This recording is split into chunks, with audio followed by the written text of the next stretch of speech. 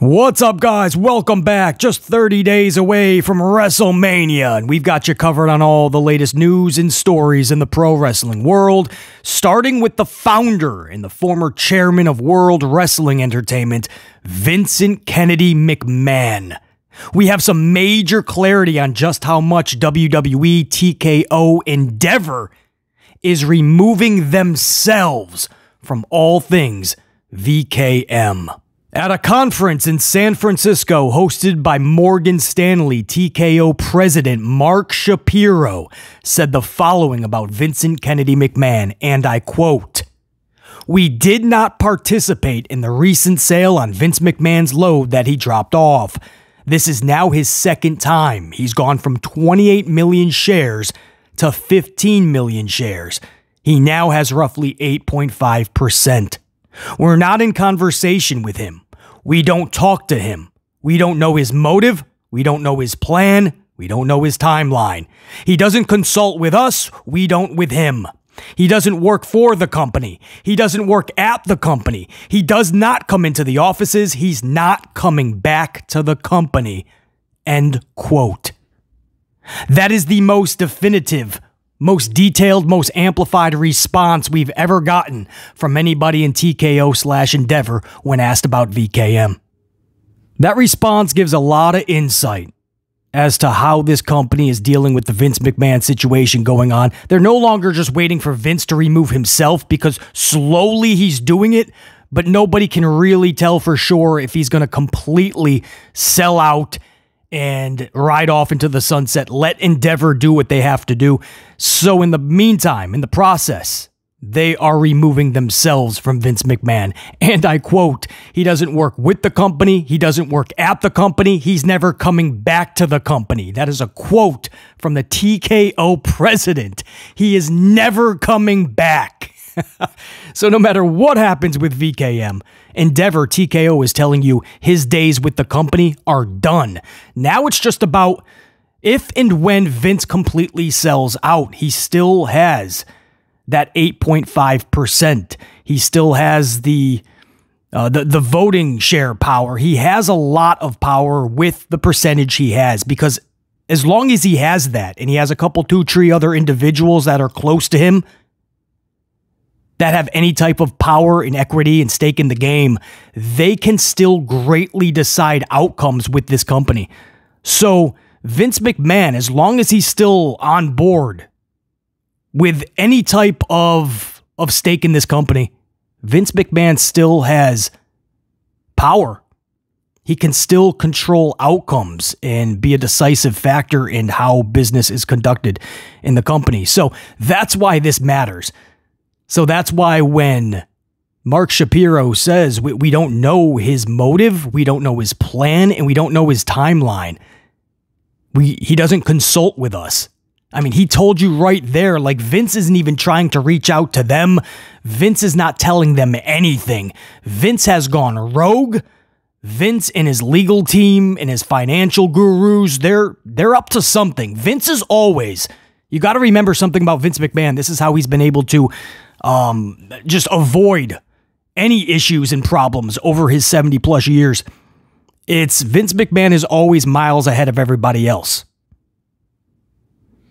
So Vince McMahon absolutely has plans set in place. Every move is strategic. And TKO Endeavor is basically saying, we don't know and we no longer care. We're removing ourselves. And whatever Vince does, we will counter it but we're not going to do it together. That's the best way to put it, I guess. I mean, Mark Shapiro cannot put it any more bluntly. We're done with him, and he doesn't consult with us either anymore. So he's done with us. We're done with him. We've moved on. We want nothing to do with this dude. He's never coming back. It's just wild, right? When you think about it. If you're a fan who've who's been watching this product, this company for decades, you know, you only associate WWF, WWE with the McMahons, especially Vincent Kennedy McMahon. So to think, like, here we are on a day where the president of the company is saying he's never coming back. like, this was the dude that founded WWE. And they're just talking about him like he's just a ragdoll employee. It's amazing how far Vince McMahon has fallen. Oh, how the mighty have fallen. Anyway, guys, important. Important to keep track on this because, again, Vince McMahon, as long as he has any skin in the game, he can greatly still decide what happens in TKO. And if you have a vindictive Vince McMahon, you have a Vince McMahon hell bent on ruffling feathers in TKO. Moving on, Meltzy. This is a this is always fun. It's always fun to cover a Meltzy report, right? Mr. David Meltzer Esquire. Meltzy is reporting that this is the first WWE Hall of Fame being entirely ran by Paul Triple H Levesque terrorizing McMahon. Well, you don't say, Dave. really? Thank goodness Meltzer is on the report, man. Because we would have never have realized that Paul Levesque McMahon is running the Hall of Fame. It is pretty obvious. You have you have 4 weeks to go before the big event.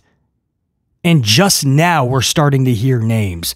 And Paul Levesque McMahon is plucking Paul Heyman, who is on his current roster, by the way. The headliner is Paul Heyman. Love Paul, can't wait for his speech. It's Philadelphia, it fits, I get it but he's still on the active roster, just like they did with Rey Mysterio last year. You're just plucking people who are already still on your roster and have already went on record and said they're not taking off anytime soon. So there's no reason to really put these guys in the Hall of Fame prematurely. They're still very much active. But Paul Levesque McMahon waited last second, again, four weeks before the event. The people showing up would probably want to know who they're going to see. But four weeks before the show, he, he plucks Paul Heyman from his own locker room. And then, a day later, he pulls out Bull Nakano out of thin air. Bull Nakano's name. Much respect to Bull Nakano. We talked about it in yesterday's upload.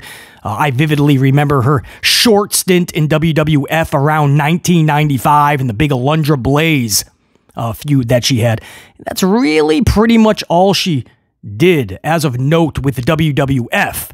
Of course, she's very decorated, not just even in Japan, a very decorated career, but it's just so oddly placed. Bull Nakano out of nowhere gets gets the nod just weeks before the Hall of Fame.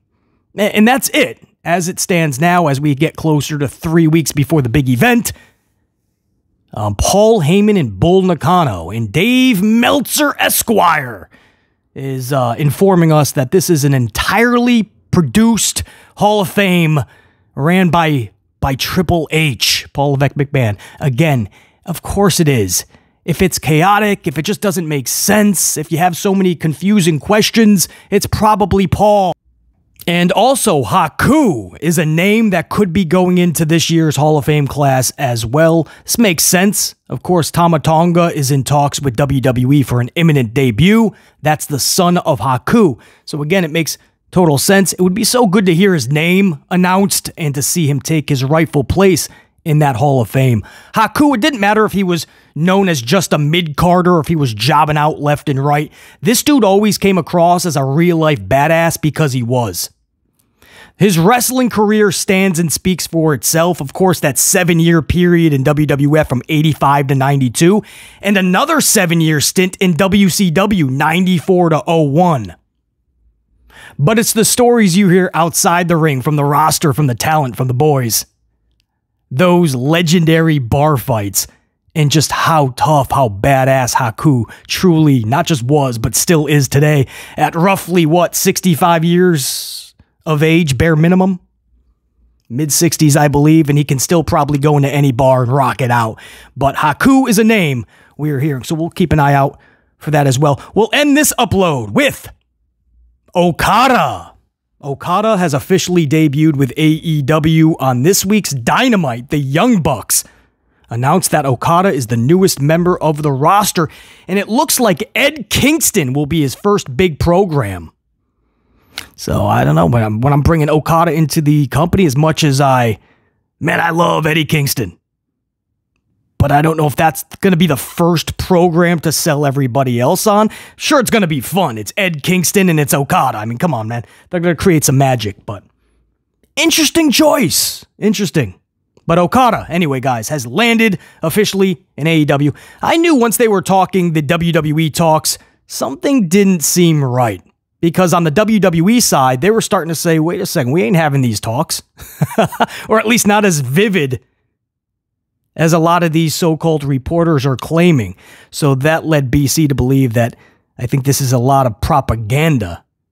Get people thinking, oh, he's about to sign with WWE, and then all of a sudden AEW gets him. You know, they've done this in the past. So uh, once again, same thing happened with Okada. All right, guys, Stick with the channel, obviously, as we are 30 days away from WrestleMania. BC is going to have you up to date with all the news, the stories, top headlines, everything. So make sure you do all the things down below. Smash the like, the notification bell, all the good things down below, and you guys will be up to date. top guys, we're out. BC in the unit saying check you.